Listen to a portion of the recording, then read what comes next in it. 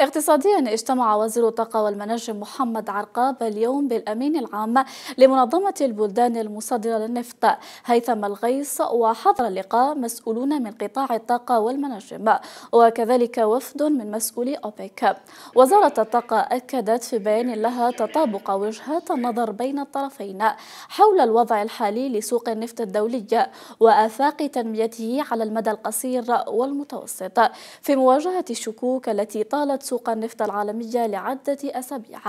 كما أعرب عرقاب والغيص عن ثقتهما الكاملة في الأثر الإيجابي للاتفاقية 5 أكتوبر 2022 المعتمدة في فيينا والتي تهدف إلى خفض الإنتاج العالمي بمقدار 2 مليون برميل يوميا.